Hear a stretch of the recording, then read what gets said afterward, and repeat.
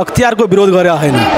उहाँहरूको शैलीको विरोध गरेको छु। अख्तियारलाई सहयोग गर्नको लागि के बाटोमा आन्दोलन गर्ने जुलुस निकाल्ने अख्तियारको काम कारवाहीलाई प्रभावित पार्ने ढङ्गले तपाईँहरूले जुलुस निकाल्नु भएको थियो कार्यक्रमहरू गर्नुभएको थियो। यो चाहिँ के अख्तियारलाई सहयोग गर्नुभयो?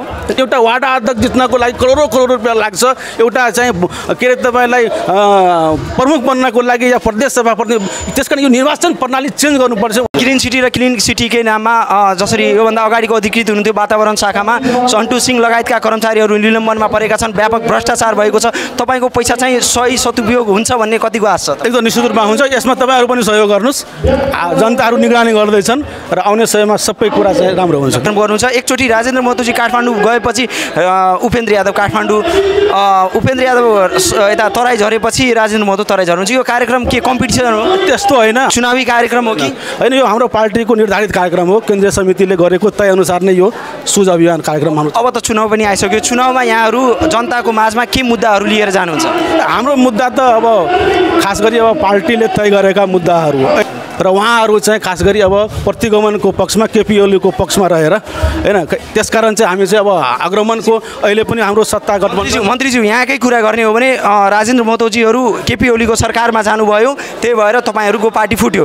त्योभन्दा अगाडि त केपी ओलीकै सरकारमा उपेन्द्र यादवजी पनि हुनुहुन्थ्यो नि। त्यतिखेर त्यतिखेर यो प्रतिगमनको पक्षमा हुनुहुन्थ्यो त्यतिबेला चाहिँ उपेन्द्र यादवजी हुँदा राम्रो थियो। नेताको कुरा गर्नुभएको छ। यहाँ पटक पटक मधेस आन्दोलन र विभिन्न आन्दोलनहरूमा जनताहरू शहीद भएका छन्। मधेसका मागहरूको नाममा तपाईँहरू पटक पटक कुर्सीमा जानुहुन्छ। मधेसी जनताले के पाए यो संहिता आएपछि? जसरी प्रदेश सरकारको बेटी पढाओ बेटी बचाओ अभियानमा भ्रष्टाचार भएको अख्तियारले भनिरहेको छ। यति बेला हामीसँग हुनुहुन्छ प्रदेश नम्बर दुईका अर्थमन्त्री शैलेन्द्र प्रसाद शाह। उहाँ प्रवक्ता पनि हुनुहुन्छ प्रदेश सरकारको। स्वागत छ यहाँलाई। धन्यवाद। जसरी बेटी पढाओ बेटी बचाओ अभियानमा जसरी अख्तियारले छापा मार्यो त्यसको व्यापक रूपमा तपाईँहरूले विरोध गर्नुभयो र पछिल्लो अख्तियारको प्रतिक्रिया हेर्नुहुन्छ भने अख्तियारले भनिरहेको छ भ्रष्टाचार भएको छ। यसमा अब यहाँको प्रतिक्रिया के छ? पहिला त अब अख्तियारले छापा मारेको त्यसलाई हामी चाहिँ अख्तियारको विरोध गरे होइन। उहाँहरूको शैलीको विरोध गरेका छु। उहाँहरूले जसरी छापामार शैलीमा जसरी मुख्यमन्त्री कार्यालय एउटा प्रदेश सरकारको आधिकारिक संस्था जो यहाँको प्रमुख संस्थामा जसरी छापा मारेर जसरी त्यसको हामीले विरोध गरेका छौँ। हामी त सहयोग गरेर भनेका छौँ। तर अहिले जसरी हिजो मात्रै सञ्चार माध्यममा भने जस्तै बर्दिवासका प्रमुखले जस्तै उहाँले भन्नुभएको छ यदि साँच्चीकै त्यही कुरा भन्नुभएको छ भने त्यो उहाँको अपरिपक्व हो अपरिपक्वता हो। उहाँ उहाँहरूको त अनुसन्धानमा त्यो कुरा देखिएको छ। होइन त्यही अनुसन्धानलाई प्रभाव पार्नको लागि चाहिँ त्यस्तो चाहिँ अभिव्यक्ति दिनुभएको छ। उहाँ उहाँ उहाँको अधिकार क्षेत्रको कुरा होइन। उहाँको अधिकार क्षेत्रको पनि उहाँको अनु अधिकार क्षेत्र भनेको अनुसन्धान गर्ने हो।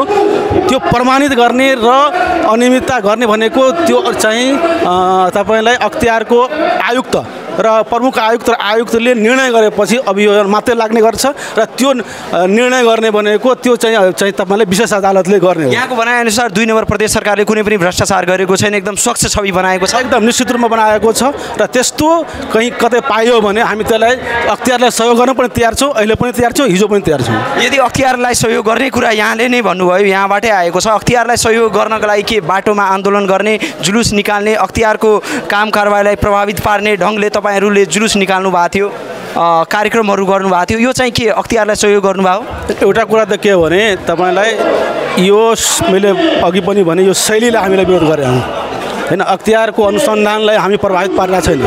होइन खास गरी हिजोको अभिव्यक्तिले थप उहाँहरू नै मलाई लाग्छ यो अनुसन्धानलाई प्रभावित गर्नको लागि हिजोको अभिव्यक्ति हो। जसरी सरकारको विपक्षी पार्टीहरूले अभिव्यक्ति दिने गरेका छ अहिले त्यस्तै नै तपाईँलाई चाहिँ अख्तियारको यो बर्दिवासका प्रमुखज्यूले त्यस्तै नै अहिले चाहिँ अभिव्यक्ति दिइराख्नु भएको छ। त्यो अनुसन्धानले थप प्रभावित गर्नको लागि अब यहाँहरूको यो जुन कार्यक्रमहरू भइरहेको छ व्यापक रूपमा उपेन्द्र यादवजी कार्यक्रम गर्दै हुनुहुन्छ भने अर्कोतिर राजेन्द्र महतोजी कार्यक्रम गर्नुहुन्छ। एकचोटि राजेन्द्र महतोजी काठमाडौँ गएपछि उपेन्द्र यादव काठमाडौँ उपेन्द्र यादव यता तराई झरेपछि राजेन्द्र महतो तराई झर्नुहुन्छ। यो कार्यक्रम के कम्पिटिसन हो? त्यस्तो होइन हाम्रो जनता समाजवादी पार्टीको यो सतहत्तरै जिल्लामा यो सुध अभियान चलिरहेछ। होइन सङ्गठन सुदृढीकरण जनजागरण अभियान चाहिँ हामी सतहत्तरै जिल्लामा हाम्रो चलिरहेछ। यो सप्तरी जिल्लामा मात्र होइन यो देशभरि हाम्रो कार्यक्रम चलिरहेछ। यो र हाम्रो अध्यक्षजीको यो प्रमुख आतिथ्यमा यस्ता कार्यक्रमहरू दिनु भइरहेको छ र सतहत्तरै जिल्लामा भइरहेको छ। चुनावी चुनावी कार्यक्रम हो कि? होइन यो हाम्रो पार्टीको निर्धारित कार्यक्रम हो। केन्द्रीय समितिले गरेको तय अनुसार नै यो सुझ अभियान कार्यक्रम हाम्रो अब त चुनाव पनि आइसक्यो। चुनावमा यहाँहरू जनताको माझमा के मुद्दाहरू लिएर जानुहुन्छ? हाम्रो मुद्दा त अब खास गरी अब पार्टीले तय गरेका मुद्दाहरू अहिले पनि हामी जुन सङ्घीयताको खास गरी संस्थागत गर्ने कुराहरूमा जो दस वर्ष जनयुद्ध मधेस विद्रोह लगायतका आन्दोलनबाट भएका उपलब्धिहरूलाई संस्थागत गर्ने र बाँकी उपलब्धिहरूको लागि चाहिँ सङ्घर्ष गर्ने किसिमका हाम्रो यहाँहरूले जुन आन्दोलन गर्नुभयो जुन उपलब्धिका कुराहरू गर्नुहुन्छ मधेस अधिकारको कुरा गर्नुहुन्छ तपाईँहरू सरकारमा हुनुहुन्छ अहिलेसम्म मधेसी जनताले के के अधिकार पाए बताइदिनुहोस् होइन सबभन्दा पहिला त अधिकारको सवालमा अहिले हामी यो अहिले जुन संहिता हामी संहितामा छौँ यो हाम्रो खास गरी तत्कालीन मधेसी जनअधिकार फोरम लिएर अहिले शक्तिहरू जुन ध्रुवीकरण गरेर जनता समाजवादी पार्टी बनेको छ र त्यो पार्टीको नेतृत्वमा जुन अहिले प्रदेश जनता समाजवादी पार्टी त फुटेको पनि छ नि। फुटेको भने केही व्यक्ति जनता समाजवादीबाट गएको। हो जनता व्यक्तिहरू? होइन फुटे। अब राजेन्द्र महतोजी महन्त ठाकुरजी लगायतका शीर्ष नेताहरू शरद सिंह भण्डारी लगायतका शीर्ष नेताहरू फुट्दा अब जनताले तपाईँहरूलाई जुन विश्वास दिएका थिए तपाईँहरू एकजुट हुनुभएको थियो र यो पार्टी फुट्ने र जुट्ने जुन किसिमको घटनाहरू भइरहेको छ यसले त पक्कै पनि तपाईँहरूलाई ठुलो घात पुगेको पुगेको होला नि। त्यो जनताले मूल्याङ्कन गर्नेछन् आउने समय मूल्याङ्कन गरिरहेको छ। एकदम जनताले आउने समयमा मूल्याङ्कन गर्नेछ र जनता समाजवादी फुटेको होइन। जनता समाजबाट केही व्यक्ति यहाँबाट गएको मात्रै हो। फुट्नुको मुख्य उद्देश्य के थियो? मुख्य कारण के थियो? अब जनता समाजवादी पार्टी अग्रगमनको अ, पक्षमा र उहाँहरू चाहिँ खास गरी अब प्रतिगमनको पक्षमा केपी ओलीको पक्षमा रहेर होइन त्यसकारण चाहिँ हामी चाहिँ अब आग्रमणको अहिले पनि हाम्रो सत्ता गठबन्धन मन्त्रीज्यू यहाँकै कुरा गर्ने हो भने राजेन्द्र महतोजीहरू केपी ओलीको सरकारमा जानुभयो त्यही भएर तपाईँहरूको पार्टी फुट्यो। त्योभन्दा अगाडि त केपी ओलीकै सरकारमा उपेन्द्र यादवजी पनि हुनुहुन्थ्यो नि। त्यतिखेर त्यतिखेर यो प्रतिगमनको पक्षमा हुनु- हुनुहुन्थेन त्यतिबेला चाहिँ उपेन्द्र यादवजी हुँदा राम्रो थियो। होइन राम्रो होइन। त्यति गरेको एजेन्डा होइन त्यसपछिको यो दुई दुईचोटि आफ्नै संसदमा भएका प्रधानमन्त्री दुई दुईपल्ट चाहिँ संसद विघटन गर्ने त्यो के हो? प्रतिगमन होइन?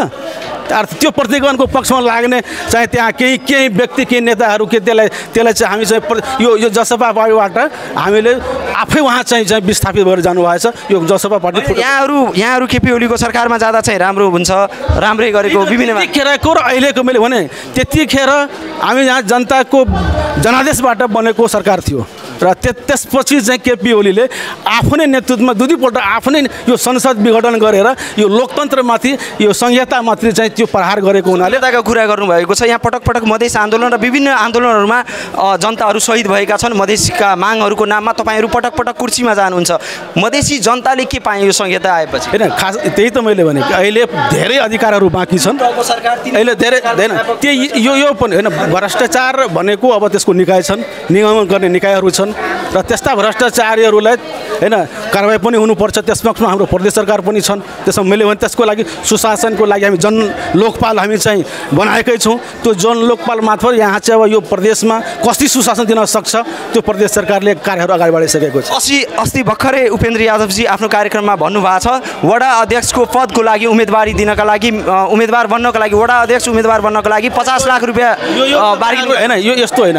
उहाँले के भन्नुभयो भने कि अहिलेको जुन निर्वाचन प्रणाली छ त्यो निर्वाचन प्रणाली चाहिँ महँगो भयो झन्झटिलो भयो। यो निर्वाचन प्रणाली नै चाहिँ चेन्ज गर्नुपर्ने अवस्था छ। हाम्रो पार्टीको निर्वाचन प्रणालीदेखि लिएर शासकीय स्वरूप जुन छ नि त्यसलाई चाहिँ हामी चाहिँ त्यसलाई परिवर्तन गर्ने भनेको छौँ। यस्तो निर्वाचन प्रणाली प्रणालीमा चाहिँ यो हाबी भएको हो। त्यसकारण यो निर्वाचन प्रणाली चेन्ज गर्नुपर्छ। एउटा वार्ड अध्यक्ष जित्नको लागि करोडौँ करोड रुपियाँ लाग्छ। एउटा चाहिँ के अरे तपाईँलाई प्रमुख बन्नको लागि या प्रदेश सभा प्रति त्यस कारण यो निर्वाचन प्रणाली चेन्ज गर्नुपर्छ। उहाँको भनाइ थियो र यसलाई बङ्ग्याएर तपाईँहरू अब होइन यो अब तपाईँ अर्थमन्त्री पनि हुनुहुन्छ। कस्तो किसिमको बजेटहरू जनताको लागि ल्याउनु होइन अब बजेट त के हो भने एक त हाम्रो प्रदेशमा अब यो देशैमा सबभन्दा बढी जनसङ्ख्या भएको यो प्रदेश हो। तर साधन स्रोतको हिसाबले अहिले पनि हामीसँग विभेद भएको छ। होइन त्यसकारण समानुपातिक रूपमा हाम्रो पनि बजेट पाउनुपर्ने हाम्रो माग पनि हो। र अहिले अब प्रदेश सरकारको अब आउने बजेटमा कम्तीमा यो प्रदेशको समृद्धि र विकासको लागि नयाँ कार्यक्रमहरू हामी ल्याउँदैछौँ। राजविराज नगरपालिकामा यहाँले कति करोड रुपियाँ दिनुभएको छ? दस करोड दिनुभएको छ। होइन त्यो ग्रिन सिटी क्लिन सिटीको लागि प्रदेश सरकारले दस करोड रुपियाँ। ग्रिन सिटी र क्लिन सिटीकै नाममा जसरी योभन्दा अगाडिको अधिकृत हुनुहुन्थ्यो वातावरण शाखामा सन्टु सिंह लगायतका कर्मचारीहरू निलम्बनमा परेका छन्। व्यापक भ्रष्टाचार भएको छ। तपाईँको पैसा चाहिँ सही सदुपयोग हुन्छ भन्ने कतिको आश? छ एकदम निश्चित रूपमा हुन्छ। यसमा तपाईँहरू पनि सहयोग गर्नुहोस्। जनताहरू निगरानी गर्दैछन् र आउने समयमा सबै कुरा चाहिँ राम्रो हुन्छ। धन्यवाद। धन्यवाद। दर्शकबिन म जानकारी गरौँ यति बेला हामीसँग हुनुहुन्थ्यो प्रदेश नम्बर दुईका अर्थमन्त्री शैलेन्द्र प्रसाद शाहजी। उहाँसँग विशेष कुराकानी गरेका छौँ। हेर्दै गरौँ होला एसटिपी खबर। एसटिपी खबर मार्फत जनताले उठाएका प्रश्नहरू हामी यसरी सम्बन्धित निकायसम्म पुर्याउने काम गरिरहेका छौँ।